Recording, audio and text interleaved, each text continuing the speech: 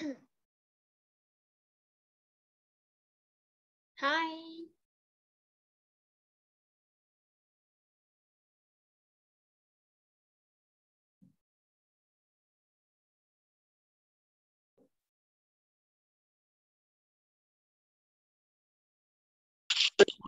Hi.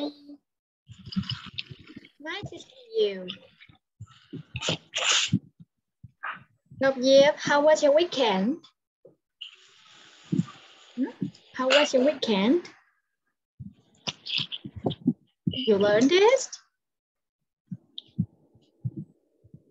Hmm, when people ask, how? You learn about the past tense, right? Con? Yeah. How? Sorry. how was your something? Maybe how was something? Nghĩa là cái gì đấy như thế nào? This one, I asked you, how was your weekend? Vậy thì câu này có nghĩa là gì? Weekend Cuối tuần của ai đây?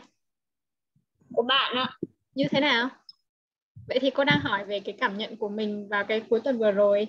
So you can say it. Lúc này cô đang hỏi về cái cuối tuần cho nên chủ ngữ của nó sẽ là it nha.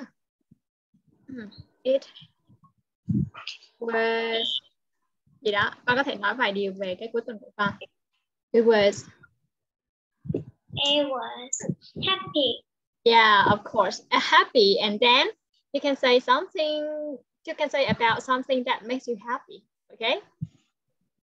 No, okay. And then you can say, uh, I, uh, I, I did something or I was mm, blah, blah, blah.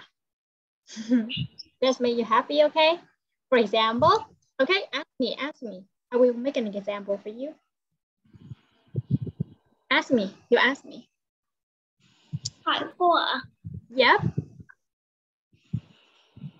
How was your weekend? Oh, it was really happy. I uh, ate a cake for my friends, and she's really, really, she, she was surprised about that. Okay, like this. You're gonna answer like this. Vậy thì bây giờ con biết trả lời câu này như thế nào chưa? Hỏi ạ. It was Xếp là gì đó? Hmm? Yeah. Okay. Ashton, how was your weekend? It was um,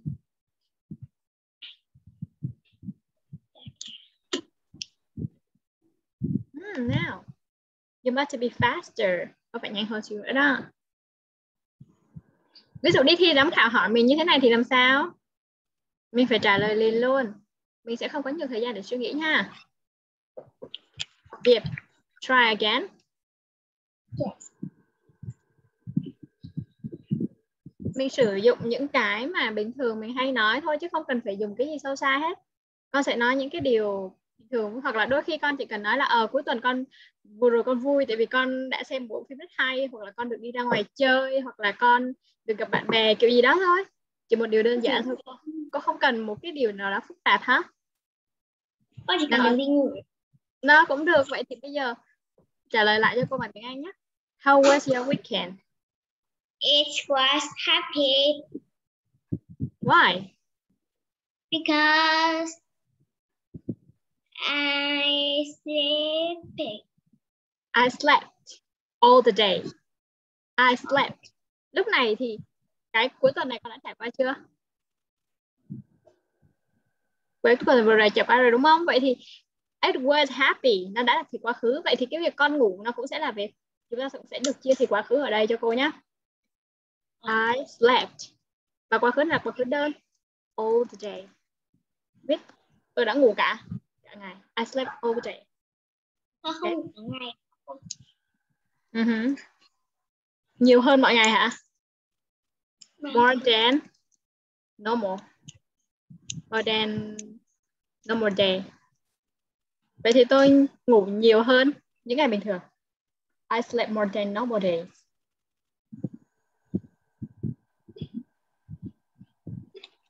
Okay? Now, I want to ask you some questions about some words we learned last week. Okay, and tell me what is the synonym of jungle? Synonym. Yeah, cái từ có dùng synonym ở đây nghĩa là từ đồng nghĩa. Khi dùng câu hỏi nào, what is the synonym of jungle? Vậy là từ đồng nghĩa với từ jungle là gì?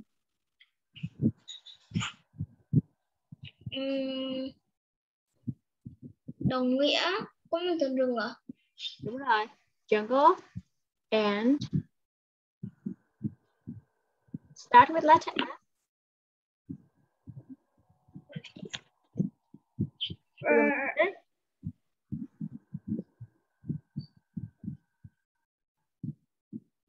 Oh my God, I forgot that. Now we have four. Four. How about this one? How to say that? Oh. Forest. Right. Okay. I am in a very hot place. Where am I? A very hot place in Africa.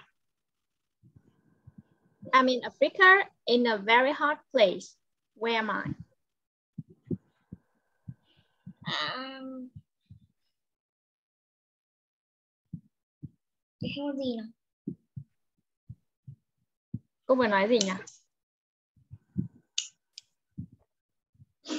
Quay chưa? Có học từ từ mới nổi. Có học được từ mới thế thì cái cô cái dữ liệu cô vừa nói đó là gì? Cô đang ở đâu? I'm in Africa. Speaker. Speaker là ở Phi ạ? Yes. And I'm in a very hot place.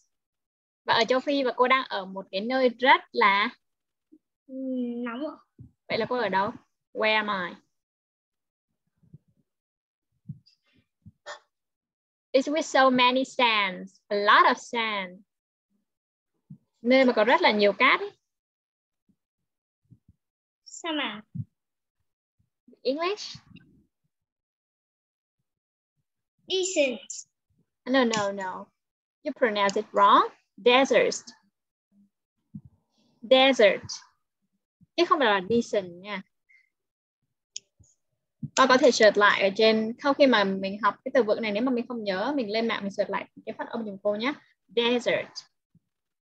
Okay, again. Desert. Okay, and what animal can live on a desert? Ừm, camera. Yeah, camel. Very good. Mm, and what else? Something smaller. Can live on the desert too. Lizards. Ah, yeah, very good. Lizard. Lizard can live on the desert and many kinds of place.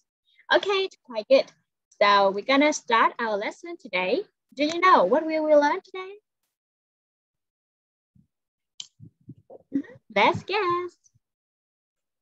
Now, welcome to Astro class. And today we move to a new unit, unit four. Your hair looks great. So today we learn about, we learn how to talk about our hair. Okay, you know hair? Yeah, Hair là tóc. yep, good. Your hair looks great. Now let's learn some words about hair. Ooh, we have two kinds of hair. The first one, look at and repeat after me. Straight, Straight. straight. Straight. Yeah, like we have a T, uh, sorry, a T at the end. Straight, Straight. straight, Straight. straight. Straight. Okay, and next one. This girl is different. Okay, your hair, what does your hair look like? The first or the second? How about your hair? The first or the second? Look alike. Okay, let's see. Your hair is straight, but my hair is curly. Curly. Yeah, curly. Curly. Good. So what does it mean straight?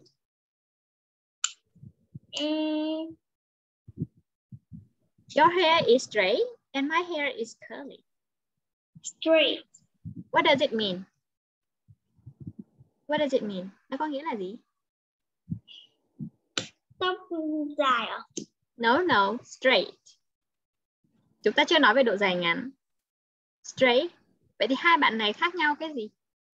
Con sẽ nhìn vào đây. Một bạn tóc, Tóc xoăn. Còn và một bạn tóc lại. tóc dài là Tóc Nếu đã xoăn thì phải so sánh với thẳng. Nếu mà một bạn tóc dài thì bạn kia phải là tóc tóc ngắn mới đúng. Nếu mà người ta so sánh như thế đúng không? Vậy thì con nhìn xem tóc con nè. Straight or là curly? straight. Okay, but my hair. How about this? My hair is. My hair, my hair is straight. Uh, how about my hair? My hair. You talk about my hair. Yep. You talk about my hair. Lúc này mình đặt câu như nào? Your. Your hair is. Hair is Is. Các cô có thẳng không? no. No. Vậy thì nói sao nhỉ? Your hair is. Your hair is cool. ơ âm ơ không phải âm u curl curly, yeah yes curly. curly, straight and curly remember you your hair is straight and my hair is curly. You can say again. Có tự nói lại kiểu như vậy xem nào. My hair Your hair- is My hair is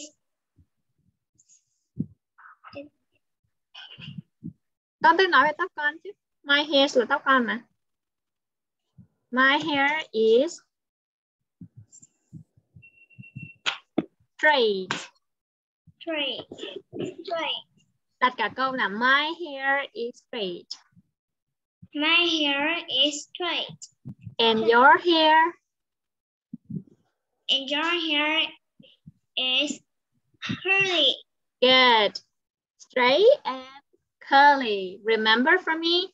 Now next one. Easier. We have Long, long and short. and short. Short. Okay look at your hair. Is your hair long? Yep. No. no? So it is? My hair is short. and? Your hair no no sorry. Your hair is short and? Straight. You can say both things two things about your hair okay? Again again please My hair is long and straight. Hmm? you just said your hair is short and now your hair is, is long so what is that Yeah. My hair is uh, long or short let me Short. see uh, short and and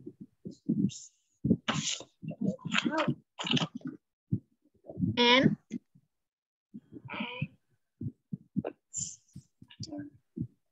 A. Âm A. Đọc sao straight. Straight. nào nhớ cho cô cả câu cho nó dễ nhá. My hair is short and straight. My hair is short and straight. good. And look at this. I have a I have long hair. I have long hair so I said my hair is long and curly okay? Now I will talk about me and you will talk about yourself okay? I, I talk first. My hair is long and curly. Your hair is short and straight. Your turn. My hair is short and straight. Your hair Your hair is, is long and curly. Very good. Write down.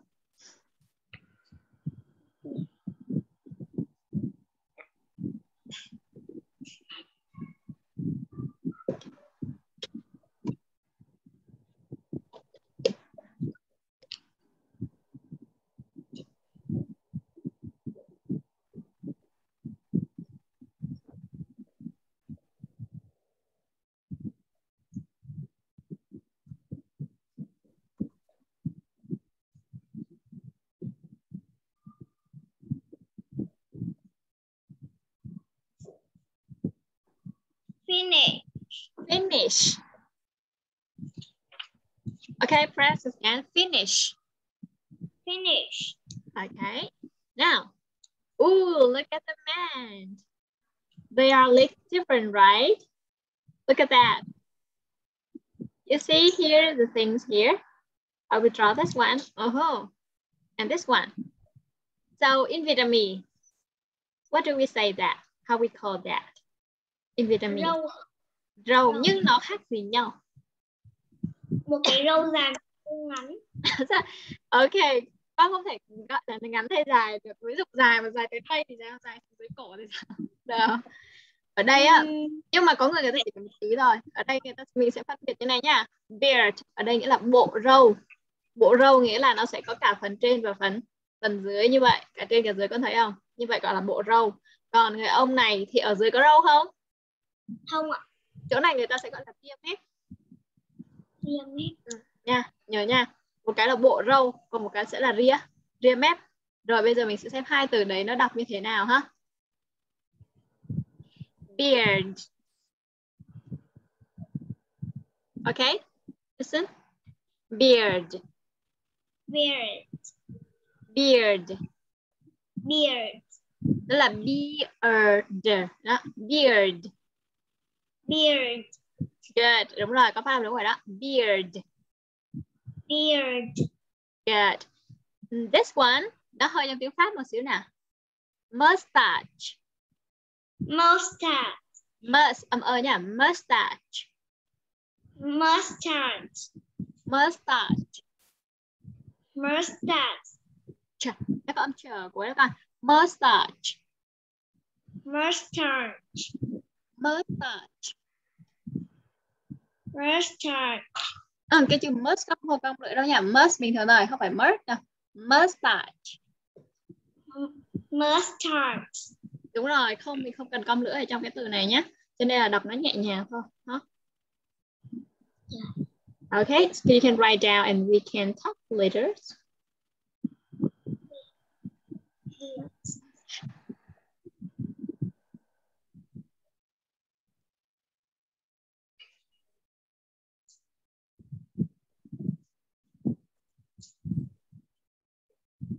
Mustache.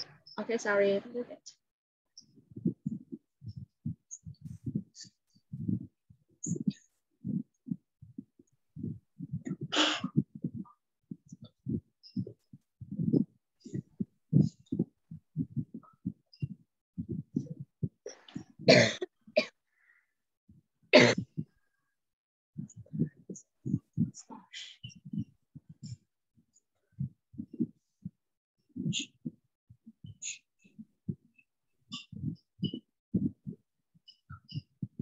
Finish? Not yet? Okay.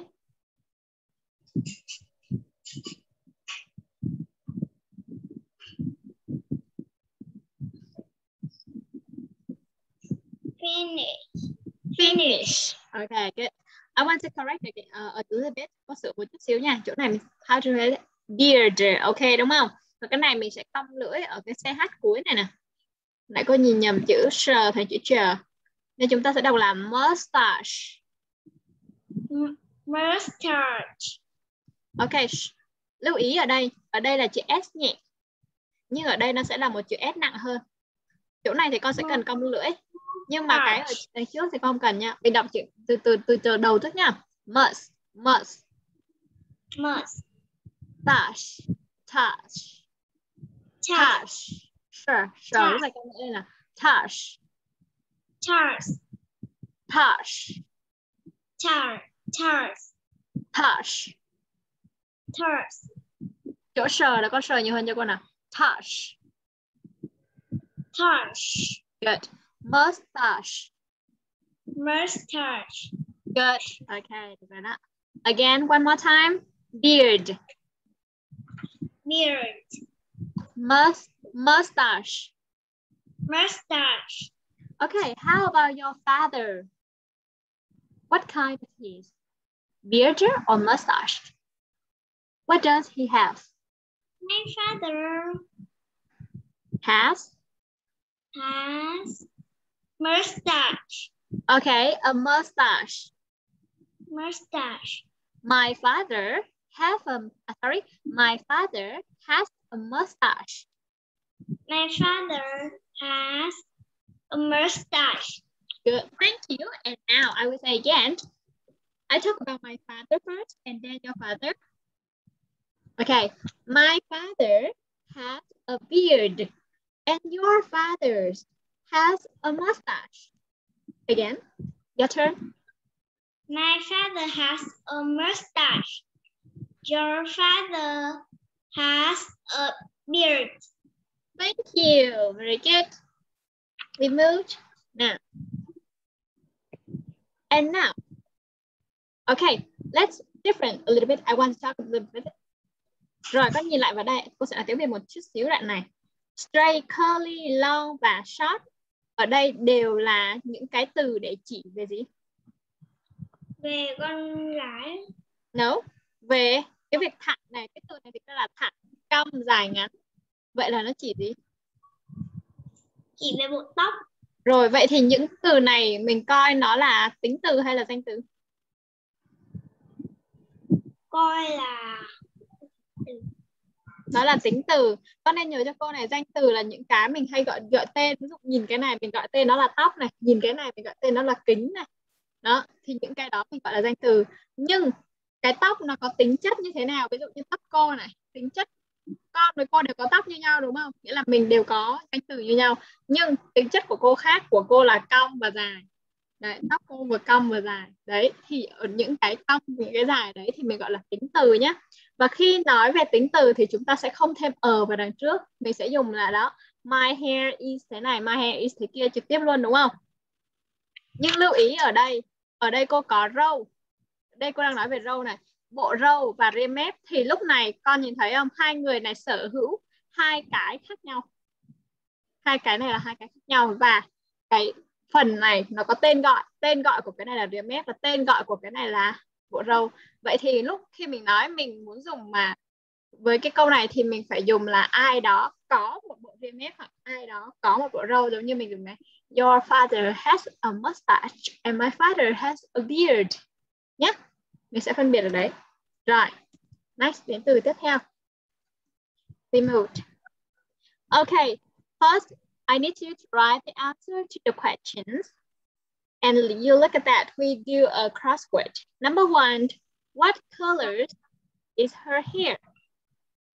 Oh my god wait. Have you learned about the color of the hair? Um, yellow. Oh, no, so you are not learning about this one. Vậy là mình chưa học về cái màu sắc của chỉ tóc rồi. Đợi xíu cô sẽ check note lại cho mình một chút xíu ha. Cái này nó bị thiếu mất một cái rồi. Just wait, just wait. Now, okay. I will show you the color of the hair. Now, come back to this one. Come back to this one. Look at that. Look at four girls. But how many colors we have here of the hair? How many colors? Only three colors. But for girls, now look at that. Here, what color is it? um, it's brown. Yes, it's brown. How about this one? It's red. Red. Yeah, it's red. But this one and this one. It's yellow. Okay, let me uh, let me tell you something. We don't use the color yellow when we talk about here. Okay. Instead of that, we use a word blonde. Blonde or blonde. Two way to say about that. Hả? Hai từ này chúng ta sẽ viết theo hai cách, một cách là anh Anh và một cách là anh Mỹ. Có e hoặc không có e nhưng đều có nghĩa là màu vàng, tóc vàng. Tại vì tóc con người thì có bao giờ mà người ta nhuộm vàng đến cái màu này không? Có bao giờ người ta nhuộm ra một cái màu vàng khè như này không? Không. Mình đang nói về tóc tự nhiên thì tóc như của cô thực ra bây giờ buổi tối thì con nhìn it's brown đúng không? Nó không có black đâu. Nhưng mà khi ra ngoài sáng á, thì tóc cô sẽ thuộc dạng gần như là blonde. Người ta sẽ dịch ra là tóc vàng hoe. Ok, hoặc nếu mà tóc cô sáng hơn nữa, ví dụ như là con thấy mấy cái chị mà tóc vàng như người người Tây á con, như người châu Âu á, thì tóc như vậy người ta có thể là dùng từ fair. Nghĩa là tóc bạn ấy trắng, bạn ấy trắng, bạn, sorry, bạn ấy bạn ấy sáng một màu nâu rất sáng hoặc là một màu vàng rất sáng. Rồi mình có thể chép lại hai cái từ này nha. Ví dụ ở đây là chúng ta ở đây là tính từ nhé.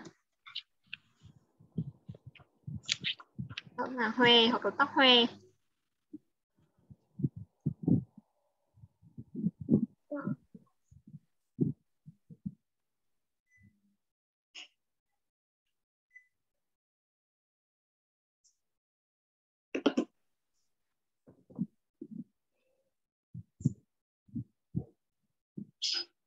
Fair ở này thì mình sẽ dùng cho là tóc sáng màu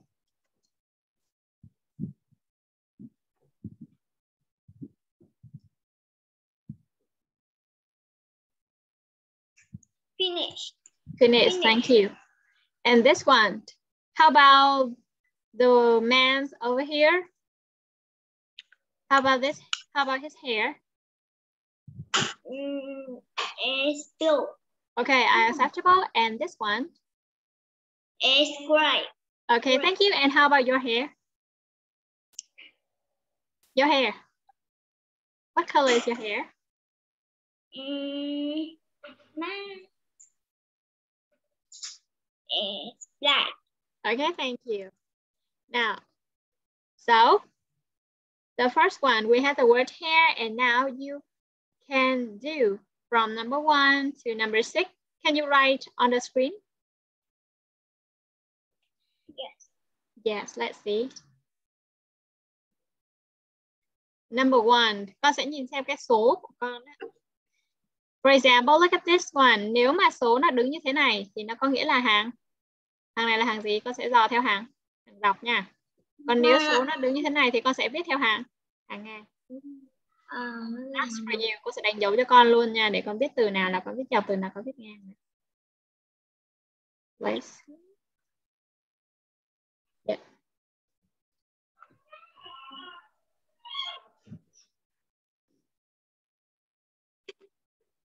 Và viết dọc thì mình viết là đơn giản thôi. Mình gõ một chữ xong mình enter một cái, xong mình gõ tiếp chữ tiếp theo rồi mình phải enter. Học viết học bằng Pháp nhỉ? Học vẫn hiện.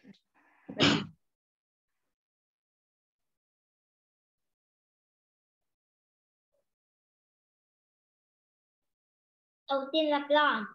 Yeah, the first one is blonde. Here. Next one, number two. What is it? Beard. Beard. Beard. Okay, we had the at last. Number three, what kind of hair has he got? Lúc này mình có thể vận dụng câu trả lời luôn. He has got. He has got um curly curly hair. curly hair. Okay. How about number four? What is this? Um. Mm, This is a mouth. mus Mm, mouth. mustache. Mm, remember? Mustache. Mustache. Tash. Tash. Tash. Mustache. Very good. And number five. Is her leg is her hair long or short? Um, short. Short hair, right? And number six. What kind of hair has he got? Straight. Ah, she, She Has- has, sorry, she, not he. she has got um, straight hair. Good. He has got straight hair. And now I will talk. We will talk about your hair, please. Okay. I have got the first one. You're gonna say about long or short, about your length. And next one we talk about the kind of hair. And next one we're gonna say about the color. Vậy thì đây là cái thứ tự sắp xếp khi mà con nói về tóc của mình. Vậy thì con nhìn thấy thì chúng ta sẽ có ba từ để nói về tóc. Đầu tiên nó sẽ chúng ta sẽ xác định trước là tóc mình như thế nào trước nào. Nói về độ tóc, độ dài ngắn. Đó. Tiếp theo sẽ là một từ dùng để chỉ độ cong hoặc độ thẳng của của tóc và sau đó mình mới đề cập đến màu của tóc và cuối cùng là mình thêm chữ gì vào? Hair. Rồi, vậy thì bây giờ chúng ta sẽ làm một cái ví dụ nhé. Now, when we talk about our hair, how we can say it's long or short. After long or short, we can say your hair, uh, say hair is straight or Or, straight or curly. good, straight or curly. Yeah. Yeah, and after that, we're gonna say about color. Okay, I will make an example for you. Chúng ta sẽ làm một cái ví dụ nha. I will talk about my hair first. Look at that. Now, I, got, I, I got look at my hair. Let's see. Long, right? My hair is long, so I talk long. And next one, my hair is curly or straight? curly. long, curly. And what color is that one? Mm, What color is it? Huh? Blonde. mm. Maybe blonde or maybe brown is okay. I can say. Maybe I like blonde. And next one, I got the word hair. So I when I talk about my hair, I will say, I've got long curly blonde hair. Okay? You know how to do this? Now your turn. Talk about your hair. I have got, I have got short, short, straight, black hair. very good. Can you talk about your mom's hair? Mom, She has con, yeah. mẹ con nhuộm tóc màu nâu, mẹ con nhuộm tóc màu tím. Vậy thì nói thế nào? Thì con nhìn xem nếu con thấy màu nâu thì có thể dùng từ brown. Chết hả? Không sao hết. Cô đâu cô đâu có biết con nhìn ở trong camera không ra đâu thật.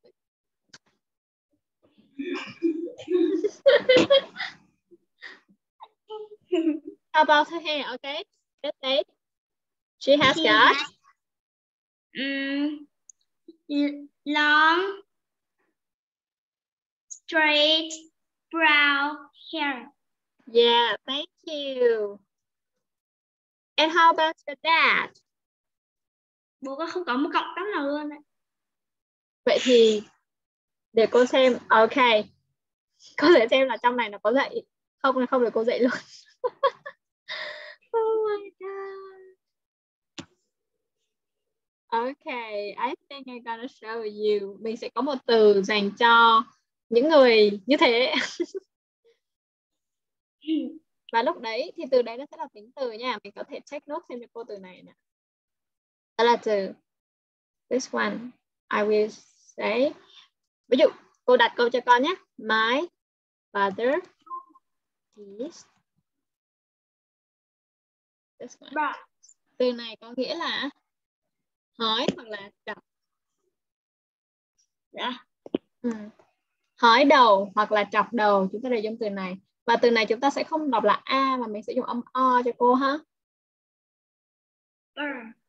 Bold. Bold. Nó giống như là con đọc từ quả bóng nhưng quả bóng nó dừng ở âm L này. Bold, bold đúng không? Quả bóng là bold đúng không? Còn cái này sẽ là bold. Bold. Bold. Good. Bold. Okay, write down. Finish. Oh, very good. Nghĩa là hỏi hoặc đọc hai hai nghĩa là những người ít tóc và những người không có tóc mình sẽ dùng dùng luôn từ này cho cô nha. Và lúc này mình có thêm thêm chữ he vào nữa không?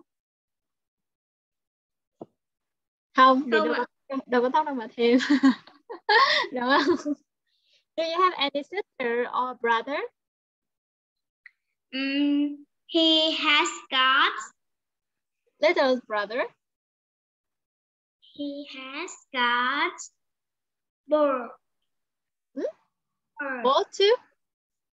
No, có lưu ý cho cô ở đây. Both nó là tính từ là tính chất luôn. Khi mà mình đã không có tóc rồi thì mình sẽ không có nên mình không dùng has got được nhé. Có cứ tưởng tượng đi, tại vì không có tóc nên sẽ chúng ta sẽ không dùng từ có được. Mình không thể nói là tôi có hỏi được mà mình sẽ nói là tôi bị hỏi. Tôi bị trọc luôn.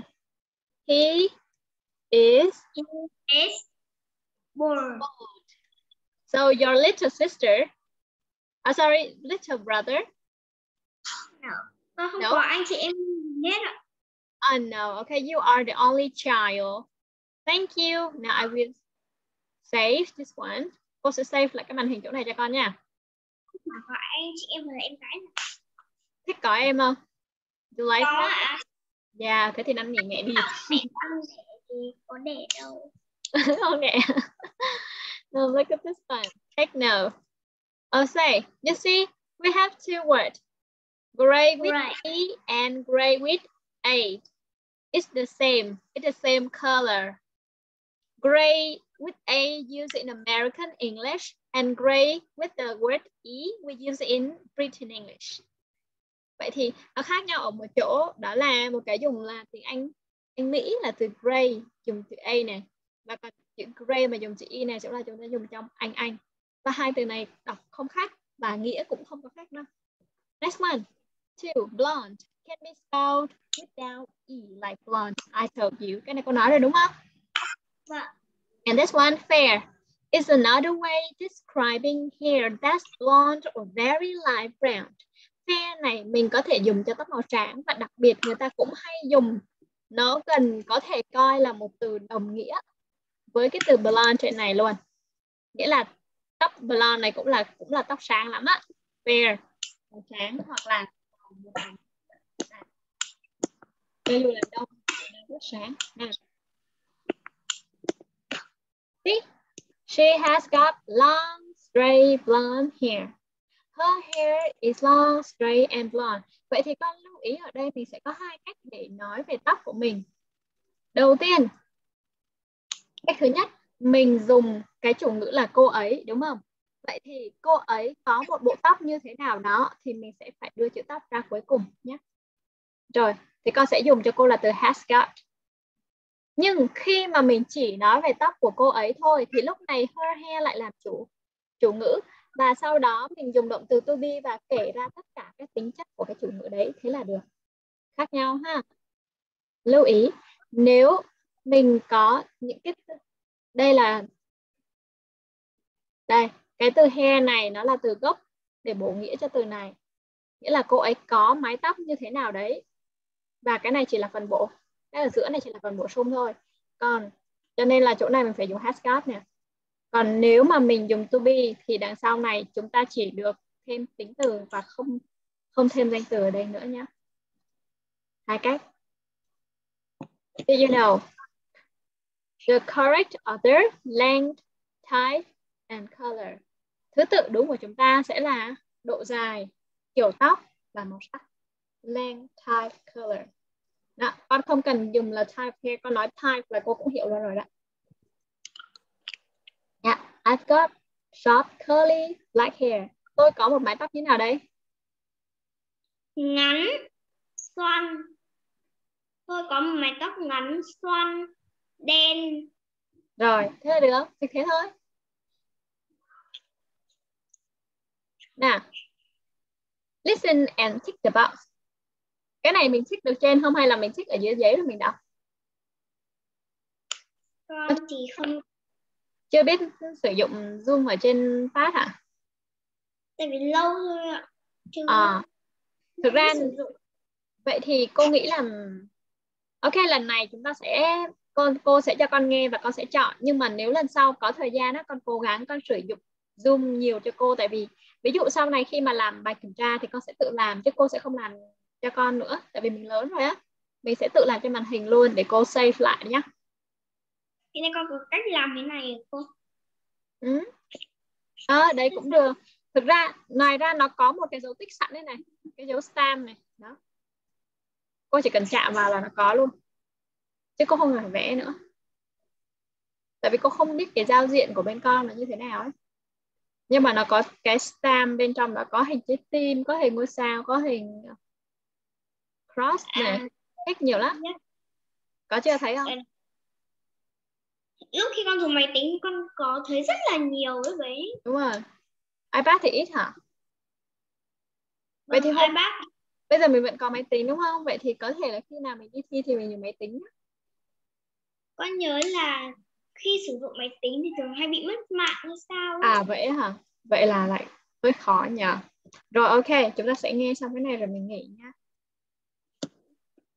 4C. Your hair looks great. Listen and tick the box. 1.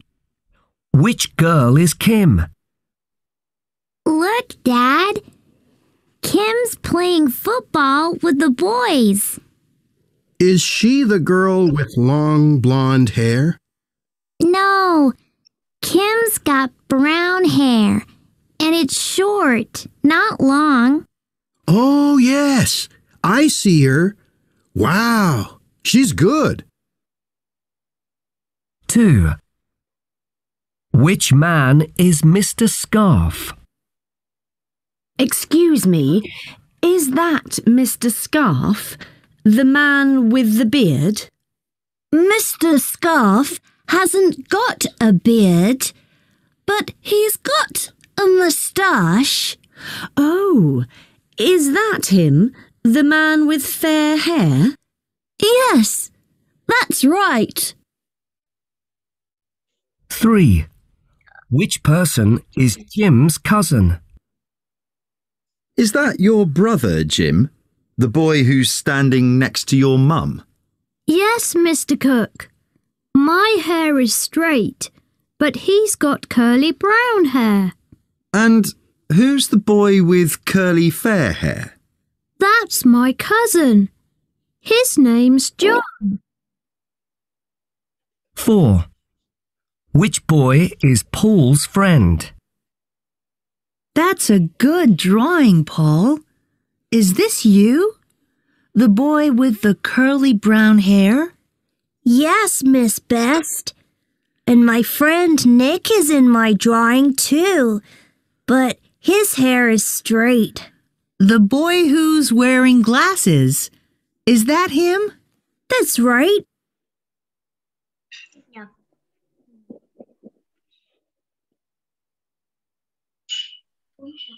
Finish now let's check again okay the first one 4C. Look, Dad. Kim's playing football with the boys. Is she the girl with long blonde hair? long No. blonde hair no Kim's got brown hair, brown and it's short, not long. okay it's right Oh, yes. She's good. Mr. Scarf. With a scarf Excuse me, is that Mr. Scarf, the man with the beard? The man with the beard. Bây giờ người ta đang hỏi này để xem bạn đi trả lời sao nhé. Mr. Scarf hasn't got a beard. Mr. Scarf hasn't got a beard. Vậy là có beard không? Không. Không. Rồi vậy là đáp án. Rồi con cứ để đấy để con check nhé. But he's got a mustache. He's got a Understand. mustache. Nhưng mà lượng ở đây mình có tận two men have got mustache đúng không? Vậy nghe xíu nữa. Oh, is that him, the man with fair hair? The man with fair hair. Fair hair là tóc như thế nào? Fair hair. Tóc màu. À, tóc màu sáng. Đúng rồi. Yes. Yes. Vậy answer C. C. Now number three. Which person is Jim's cousin? Is that your brother, Jim? The boy who's standing next to your mum? Đầu tiên là người ta nhắc đến ai trước? Brother. Nhưng mà câu hỏi ở đây nó là cousin. Con lưu ý nha. Yes, Mr. Cook. My hair is straight, but My hair is straight. he's got curly brown hair. He got curly brown hair. Đúng là có một người curly brown hair. Nhưng người đó là brother. Okay. And who's the boy with curly fair hair? Who's the boy with curly fair hair? Vậy thì cái chàng trai mà có tóc Xoăn. Xoăn mà màu Màu vàng đó. ờ, màu vàng sáng đó là ai? That's my cousin. That's my cousin. Vậy đáp án Đáp án B. Yeah, B. Number four. Which boy is Paul's friend? That's a good drawing, Paul. Is this you? The boy with the curly brown hair? Yes, Miss Best. And my friend Nick is in my drawing too, but his hair is straight. Đó. I have got nghĩa là cái người vẽ thì lại có tóc curly hair và bạn thì đứng cạnh bạn ấy vẽ một người bạn đứng cạnh mình ở trong bức tranh nhưng mà tóc của cậu bạn thì lại straight lại thẳng The boy who's wearing glasses. À, và thẳng thì có tận hai người cho nên người ta hỏi wearing glasses là đeo? Đeo kính. kính cho nên đáp án B exactly. Ok vậy thì lần sau mình sẽ chú ý nghe cho cô những cái thông tin kỹ như vậy nhé. Với cả cô có một cái nhắc mình này ví dụ như là câu số 2 con mà lỡ bỏ qua một cái gì đấy con không ghi được thì con kệ nó cho cô. Con đừng suy nghĩ về số 2 nữa. Khi người ta đã bắt đầu vào số 3 là mình sẽ đọc tập trung lại vào câu số 3 luôn và mình số 3 số 4 và có thể con sẽ xin cô nghe lại một lần nữa. Nếu có thời gian cô vẫn cho chúng ta nghe lại một lần nữa đấy. Tại do hôm nay là hết thời gian cô chữa luôn thôi. Và khi làm bài cũng thế để tránh trường hợp ví dụ như là nếu con bỏ câu 2 đi thì con còn làm đúng câu số 3, câu số 4 nhưng nếu mà con bị suy nghĩ về câu 2 quá nhiều thì nghi nghe câu số 3, câu số 4 con cũng không tập trung. Vì vậy câu số 3, câu 4 nó dễ sai hơn. Vậy là mình đã bị sai nhiều câu hơn nhé Ok, nhớ nhá. Rồi vậy thì về nhà chúng ta sẽ ôn lại bài và lát nữa cô sẽ gửi bài tập cho mình. Okay, do you have any picture? Uh, do you did you draw a cat for your project? Project? Do Yes. you? Okay, let's show me. Con vẽ xấu lắm. Hôm nào cũng nói thế nào show me, I want to see. Không, con vẽ xấu từ đây. Con không biết. Trước nay không chụp cho cô hả? Không phải con chụp mà con quá vẽ xấu à. Không bữa con thấy mình vẽ cái, cái cái hình đẹp lắm mà. À, cái đấy là có hình mẫu ạ. Ờ, vậy cô xem thử nào, nào, nào, nào. Nhanh nào. Xấu lắm. Xấu thì cô cũng xem chứ, để xem lỡ con thấy xấu mà cô thấy đẹp thì sao? Không. Không xem là phạt đấy, nó nằm trong nội dung của bài tập về nhà đấy nhé. Nhưng nó rất xấu à, nếu không giờ không xem được thì hồi ngày hôm sau con có thể vẽ lại một bức khác và cho cô xem sau được không? Mình có yeah. thể search thêm một cái hình mèo khác ở trên Google ấy. Ok see you. Hôm nay có câu hỏi gì nữa không? Any questions? Hết rồi. Bye bye. Good night.